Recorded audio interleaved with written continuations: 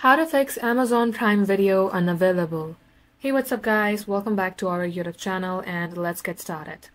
First of all, if a video or a movie is showing that this is not available, make sure that you are still subscribed to Amazon Prime Video and make sure that your subscription is not over yet. For that, you can see it if your subscription is over or not. And if it's still facing problem, then you can go ahead and clear the cache. Click on three dot icon here, then click on settings. Click on Privacy and Security, then under Privacy and Security, click on Delete Browsing Data. As you do so, make sure that you check Browsing History. If you would like to delete download history, cookies and other site data, you may go ahead and do so.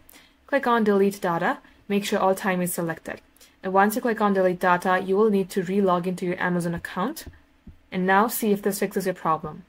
If it's still not working, then just know that the video has been removed by the owner and you will not be able to find the video anywhere because it has been removed from its root.